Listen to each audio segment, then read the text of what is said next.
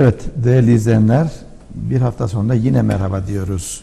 Bir hafta sonra diyoruz günler böyle gün gibi geçiyor. Haftalar gün gibi geçiyor. Ee, hatta günler saatler gibi geçiyor. Çok dolu geçiyor aslında. Ama insanoğlu yaptığı faaliyetlerle bazen güzel yapacağım derken bazen değil çoğu zaman yanlış da yapabiliyor. O nedenle doğal kaynaklarımızı da tüketmekteyiz. Bu bağlamda dikkatli olmalıyız. Çünkü doğal kaynakları bir kez kullanabiliyoruz. On kez kullanamıyoruz. Yanlış yaptık dediğimizde de geriye iade edemiyoruz ne yazık doğal kaynakları. Evet, herkese iyi günler dedik. Yeşil Barış Hareketi'nin hazırladığı bu programdan ben Doğan Sahir size selamlarımı ilettim ama Ertaç Azer de paylaşıyor programı. Evet. E, klişeleşmiş şekilde biz de başlayalım. Yarın geç olabilir programında bu güzel Mart ayının e, soğuk ben soğuğu da sevdiğim için güzellerim. Kapalı ben kapalı havaları da severim. Gününden herkese yarının geç olmaması dileğiyle hem izleyicilerimize hem radyolardan bizleri dinleyen sevgili dinleyicilerimize merhaba deyip konuğumuza dönelim. Hoş geldiniz. Hoş bulduk. Evet, konumuz mimar, benim meslektaşım Evet, evet, Erdoğan Bekiroğlu. Bekiroğlu. Aynı zamanda Müteahhitler Birliği Yönetim, Yönetim Kurulu üyesi. Evet. Evet, nasılsınız? Ee, teşekkür ederim. Mimar, e, müteahhitler hep böyle kötü bilindi ülkemizde. hep böyle bir şeyleri yakan, yıkan, bozan. E, siz o imajı bozmak için uğraşıyorsunuz galiba. Aslında projemizdeki etkenlerden bir tanesi de o oldu. 3-4 çeşit etkeni oldu. Bir tanesi de bu oldu. Çok doğru olduğuna biz inanmıyoruz. Hangi neyin doğru olduğuna. Yani yakan yıkan meselesini. Evet, tamam. Bu intiba nasıl oluştu? Aslında Ya bu, neden oluştu? bu bir ihtiyaçtır diye düşünüyoruz biz. Ki farkında yıkma- olmadan oluştu o. Aslında Ee, en son- mı? Yani yıkma, dökme ihtiyaçtan dolayı mı oluştu da bu intiba ortaya çıktı? Şimdi bir konut ihtiyacımız var. Bu bir gerçek. Gelişme için de binalara ihtiyacımız var. Bu da ayrı bir gerçek. E, sonuç olarak ihtiyacı gösteriyor bunlar kendileri. E, aslında müteahhitler olarak biz en son noktadayız ama Ha, onu soracaktım. Bozan siz misiniz yoksa boz, siz tetikçisiniz? Birileri planlıyor, siz de bozmak zorunda kalıyorsunuz. evet birileri talep ediyor. Biz de bu talebi yerine getirmeye çalışıyoruz. E, aslında en önemli etken bu algının oluşmasında programsız gelişme ve bunun içerisinde olmamızdır diye düşünüyoruz biz. Farkında olmak da aslında çok önemli değil mi? Yani yaparken de bozuyoruz ya. En az bozabilmek de çok önemli değil mi? E, biz de onun için uğraşıyoruz şu anda. Çünkü gerçekten e, programsızca bir şekilde gelişiyoruz. Bütün doğal kaynaklarımızı vahşice tüketiyoruz. Küçük bir adada yaşadığımız ve çok az toprak sahip Çok olduğumuz, kısıtlı evet, kısıtlı olduğunu düşünürsek bunları çok iyi kullanmamız lazım. Kullanabiliyor muyuz? E, şu anda çok iyi kullandığımızı söyleyemeyiz. Çok iyi kullandığımızı Yani söyleseydik. belli değil mi Ertaç Bey? Dere yataklarından deniz kıyılarına Ona gelmek kadar. istedim. Yani inşaat müteahhitleri e, birlik olarak. Onlar karar vermiyorlar ama Tabii. Belki de son basamaksınız siz bu Evet, konuda. yani Değil biz- yani, ne, Şimdi Ama düşünün siz e, mal sahibi karar veriyor bina yapmaya. Dönüyor bununla ilgili mimar mühendislerle bir proje hazırlıyor. Bu projeler gerekli kurum kuruluşlardan e, yetki alıyor, izin alıyor. Ve günün sonunda da bir müteahhite icraat aşamasında yapılması için teslim ediliyor. Yani şimdi e, çok taraflı e, bir etken. Biz aslında en son noktadayız. Ama Ve yaklaşık çıkan sonuçtan memnun muyuz derseniz aslında memnun değiliz. Memnun olmadığımız için şu anda değişik vizyonlarla bunu çözmeye çalışıyoruz. Nelerdir projeleriniz? Ne vardır? Yani bu vizyonlardan bazılarını alsak. Şimdi birincisi e, bu katı atık master planı çerçevesinde inşaat atıklarının yönetimi projesi. Bundan 6-7 ay önce bunu ortaya koyduk. E, bu ortaya koyduğumuz aşamada bunun tabii 3-4 tane etkeni oldu. Nasıl ortaya çıktığıyla ilgili. İşte birincisi dediğiniz bu algı bunu dürüstçe kabul etmek lazım. Bu algı üzerimizde var ve bununla ilgili bir projeksiyon ortaya koyma niyetimiz oldu. İkincisi e, müteahhitlerimizin, üyelerimizin bu konuyla ilgili ihtiyacı olduğunu biz tespit ettik. Çünkü şu anda müteahhitlerimiz bütün katı atığını şu veya bu şekilde bertaraf etmeye çalışıyor ama hiçbir yöntem yok. Bununla ilgili zorluk yaşıyor. Zorluk yaşadığı zaman işte çeşitli e, Kirletmeler yapmak zorunda kalıyorlar. Bu öteki taraftan mukayese dezavantajı yaratıyor birçok üyemize. Öteki taraftan mukayese ederken Şimdi düşünün ki e, bir müteahhit e, kendisi inisiyatif kullanarak bertaraf ediyor. Çok ucuz şekilde. En kolayından. En kolayından. E, başka bir müteahhit bunu yapamıyor. Ya yetkisi yoktur ya etkisi Ha, yoktur. Evet. Yetkinin yani ötesinde dağılımı da vardır bunların içerisinde. çevre Erklerin- farkındalığıdır Ertaç Bey. E, muha- muhakkak vardır. Çünkü zaten biliyorsunuz ki bizim ülkemizde insan ilişkileriyle yürütülen birçok e, Olay var. olay var. Yani. Yani bunu da real olarak kabul etmek lazım. Ee, ikinci etkeni bu oldu. Üçüncü etkeni yani nereye gide- gidecek yani bu doğal kaynaklar, bu dağlar eninde sonunda bir yerde bitecek. Yani Sonra yer- ne olacak? İşte yani sonra ne olacak? Bizim bunu daha programlı bir şekilde yani bir alım yaparken oradan ekstra bir değer haline getirmekle ilgili bir gaylemiz oldu. Öte taraftan yani şu anda belki de uyum yasaları çerçevesinde tam yapmak zorunda değiliz.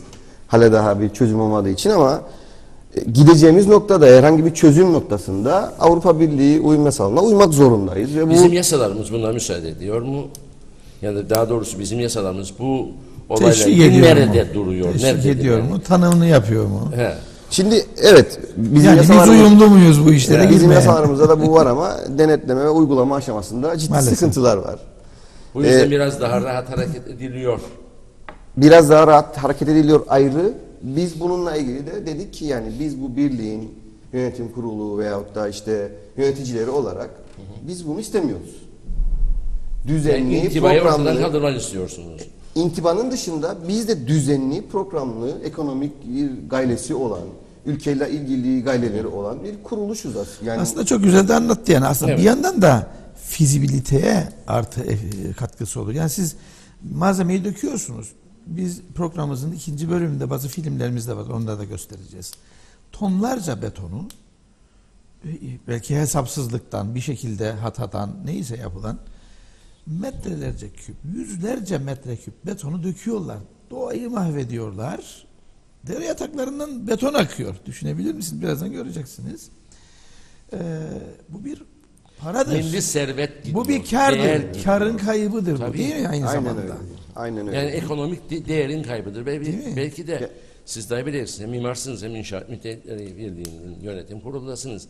Ee, mevcut olacak olan binanın e, parasal giderinin çok çok üstünde bir para harcanıyor burada. Belki de daha az İsrafı azaltmaktır bu. olabilir. Evet yani Değil mi? şimdi e, 100 liraya mal edecekseniz 110 liraya mal ediyorsunuz. O be, 10 liraya atıyorsun, masrafından sağlamadığınız çıkıyor. için de bu size ekonomik bir götürü olarak yansıyor. Yani mi? e, ekonomik açıdan da biz bunu değerlendirdik ve o da aslında bir etkendir yani.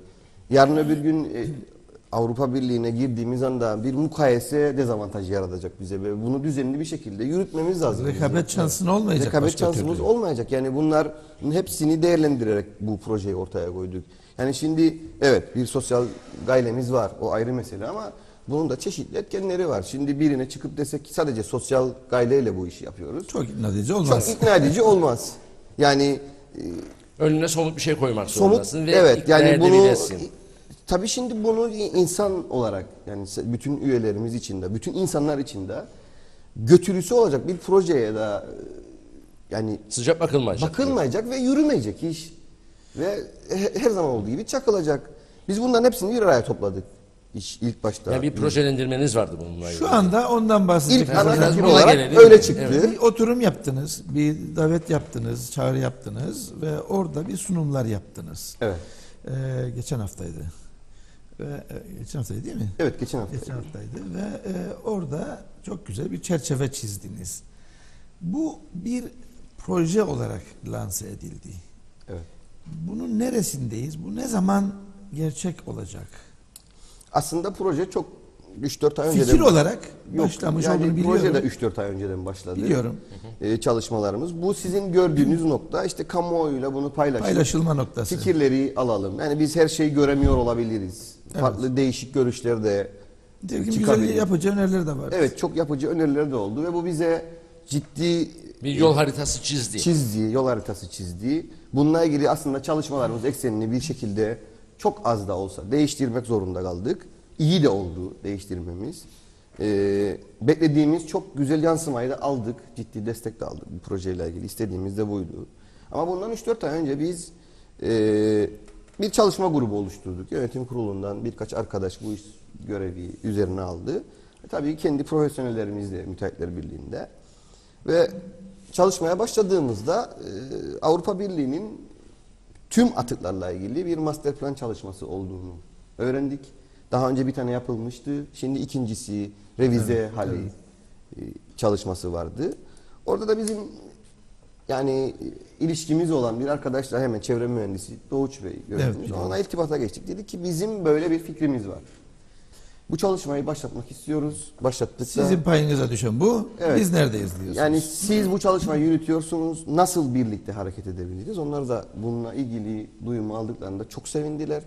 Ve orada gerek toplantılar olarak gerek de işbirliği olarak çok iyi bir sinerji yakalayarak bu işi yürütmeye başladık. Birinci önceliğimiz tabii bu işin yapılabilirliğini görebilmek için bir teknik rapor nasıl çıkarabiliriz?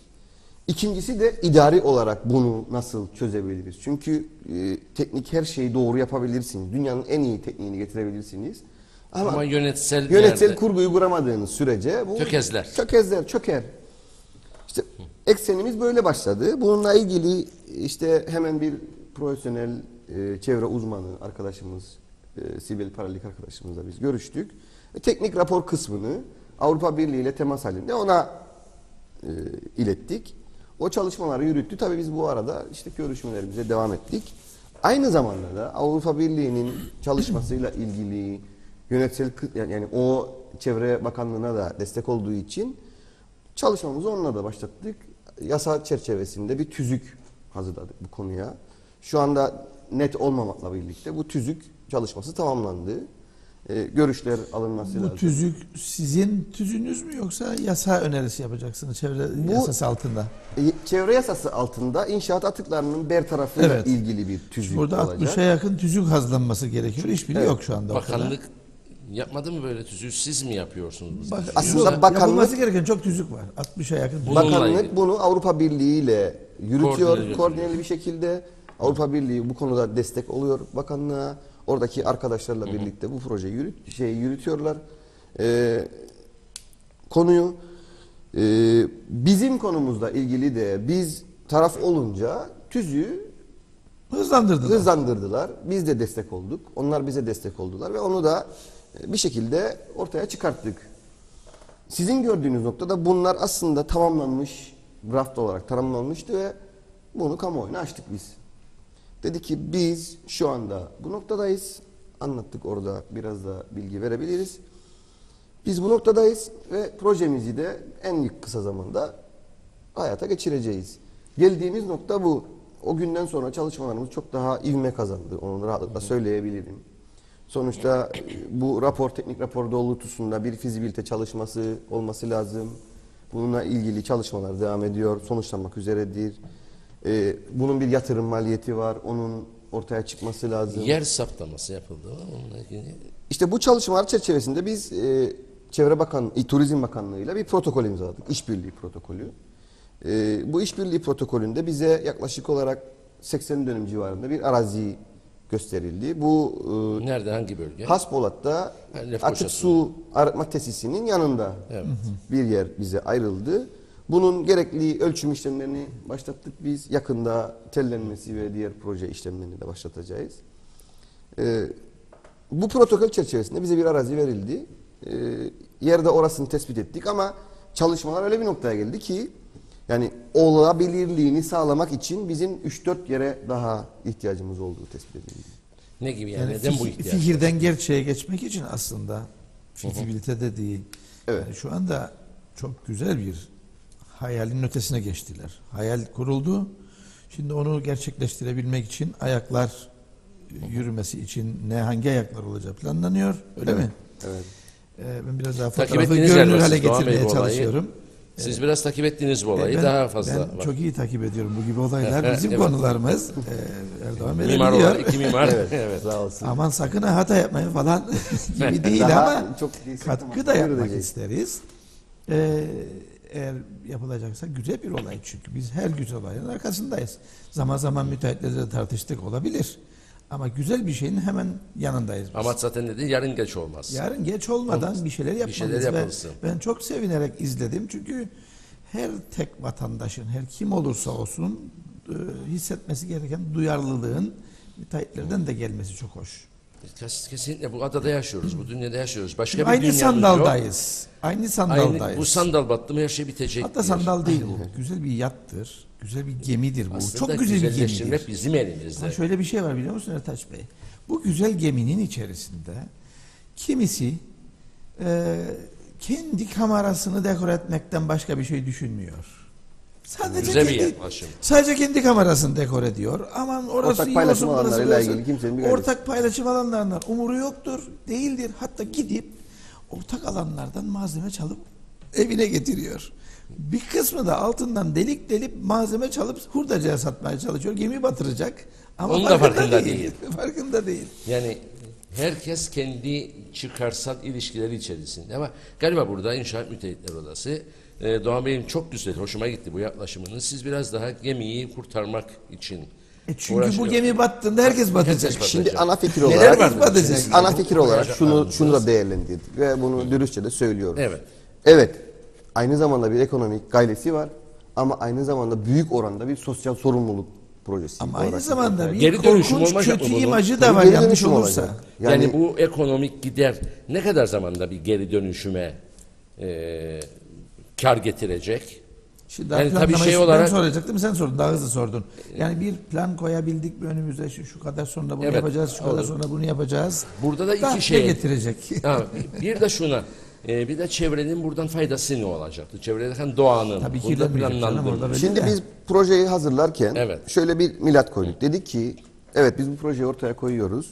Bugünden itibaren artık hiçbir yeri kirletmiyoruz ve bu proje yürüyecek. Birinci bir- basamağınız o. Birinci basamağı bunu koyduk. Ondan sonra Yani, yani ben gene keseceğim arada bir sohbet gibi geçsen iyi olacak. Ee, çünkü izleyenler de merak edecektir mutlaka. Yani bugün hemen bir inşaattan çıkacak olan yıkın, yıkıntıları alabilecek yeriniz var diye gelsin diye, diye çağrı yapmış oluyor musunuz şu anda?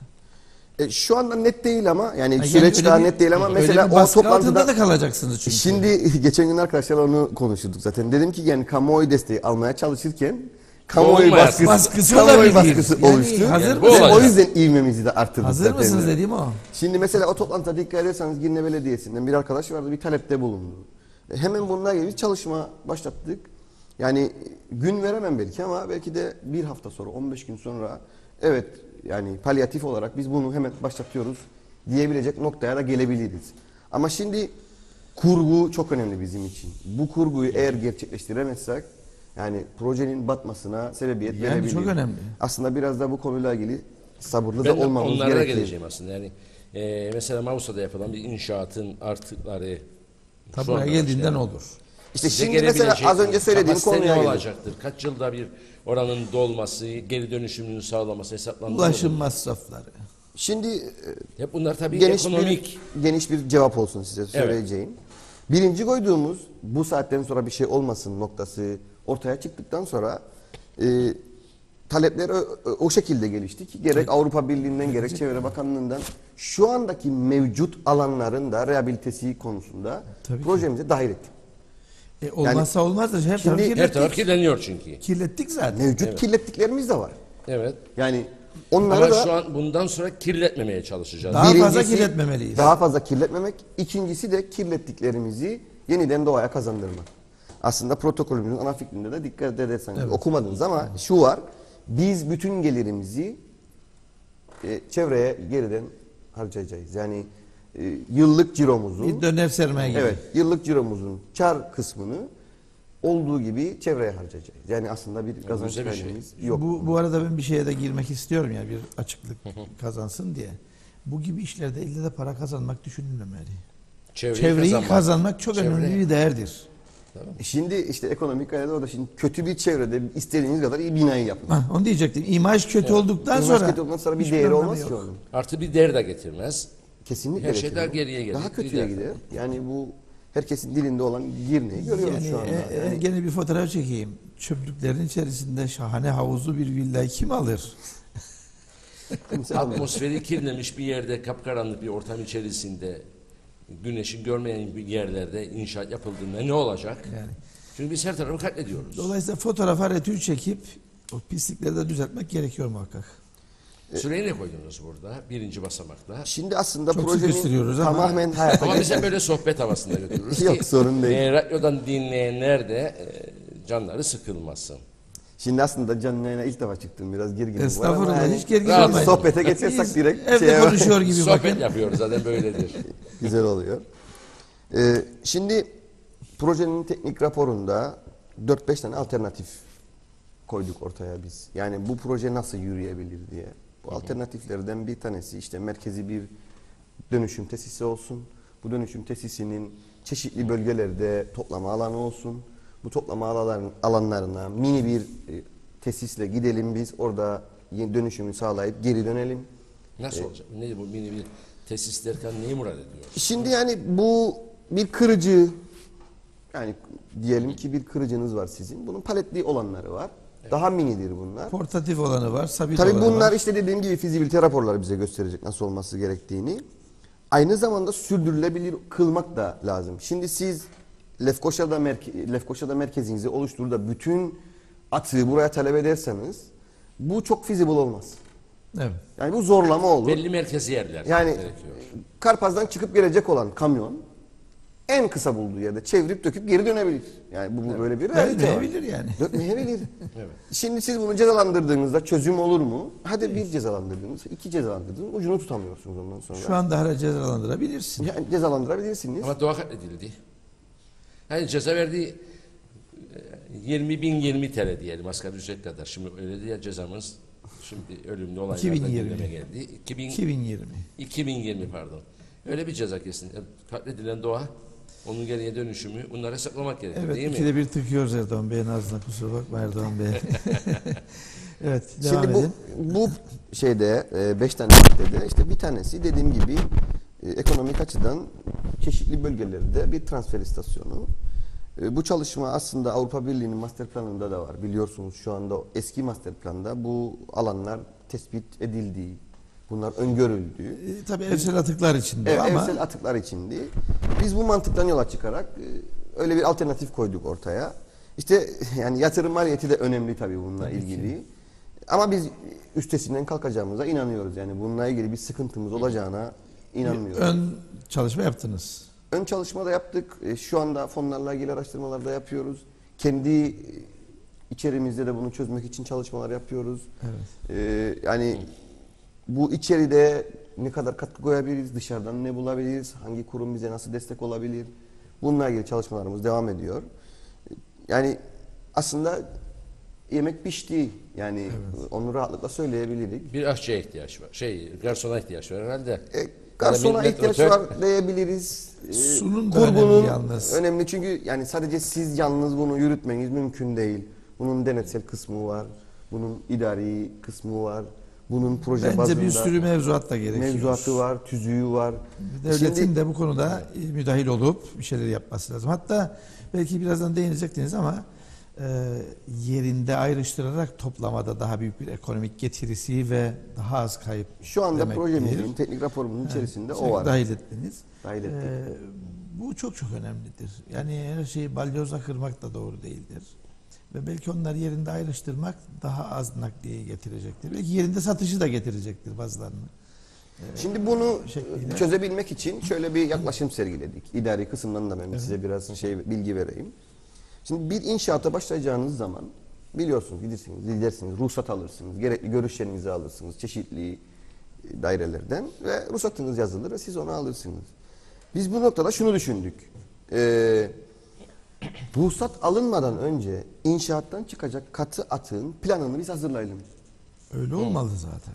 Yani bu inşaatı yapacak olana, yani inşaat sahibine veyahut da katı atık sahibine diyelim. Biz bunu hazırlayalım. Ve o çerçevede projesini yürütsün. Bir Yani hesap bir yol haritası olsun Evet orada. biz bir hesap yaptığımızda aslında bu geri dönüşümü biz o kişiye sağladığımızda kaybı olmuyor. Kazancı oluyor. Şimdi tabii bu Avrupa diyoruz hep Avrupa Avrupa ama yani birçok çağdaş ülkede girdiyle çıktının muhasebesi esastır. Evet. Buraya bu kadar malzeme girdi, bu kadar malzemelik bir ürün elde edildi. O aradaki nereye gittiğinin hesabını verilmesi lazım. İşte herhalde o yol haritası İşte da odur. olan- evet, olan- basamak Evet, orada. olması birinci basamağımız basamak o. idari Evet. olarak o onu öngörüyoruz biz. Tabii bununla ilgili dediğim gibi tüzükler, mevzuatlar, onlarla ilgili belediyeler gerek yani belediyelerin bu işte çok etkisi var, kaymakamlıkların etkisi var. Onlarla Çok fazla paydaşınız olacak. Yani çok payda paydaşımız var. İşte biz burada şunu değerlendiriyoruz. Biz kendi zümremizi yönetip bu arkadaşlarla belediyeler olsun, kaymakamlıklar olsun bir temas köprü olalım ve bu problemi ortadan kaldıralım. Yani öngördüğümüz bu. Buna da nereden yani e, vakıf olduk? Bizim şu anda e, inşaat e, müteahhitlerle taşeronların bütün inşaat izinlerini adamlarıyla ilgili biz çıkarıyoruz. Bir protokol yaptık zamanında şeyle e, Çalışma Bakanlığı'yla bütün e, müteahhitler olsun, taşeronlar olsun inşaat izni çıkaracağı her kişi için bize gelip başvuruyor. Bununla ilgili belli bir ücret ödüyor. Bunun takibini ve düzenlemesini ve izinlerin çıkarılmasını biz sağlıyoruz. Peki bunun Burada e, aslında ilk etapta işte bir ücret alıyoruz niteliğine geldiğimizde üyelerimiz bizimle çok müteşekkir oldu bu konuyla ilgili. Çünkü bütün bürokratik engeller aşılmış oldu. Daha fazla harcayacağı para daha minimize oldu. Tek elden bu iş artık kontrol altına girdi. Ve bunu düşünerekten e, şu andaki bu bahsettiğimiz inşaat atıkları problemini de çözebileceğimizi kanaat getirdik. Evet, Şu anda o birinci bölümde ilerliyoruz. birinci bölümde çok güzel bir takdimde sunuş yaptınız, projenizi anlattınız. Ee, bizim şimdi küçük bir kısa arabamız olacak, e, bir haber arası olacak. Ee, ondan sonraki bölümde e, bunları daha detaylandırabilirseniz, e, benim de sorularım hemen şimdiden peşin sorayım da e, yanıt bulur belki.